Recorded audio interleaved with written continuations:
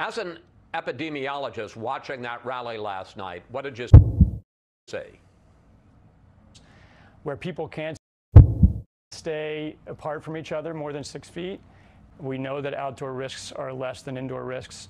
And uh, if people can maintain their space, uh, then that will help. But certainly, I think there is a risk with large scale protesting as well for increased spread.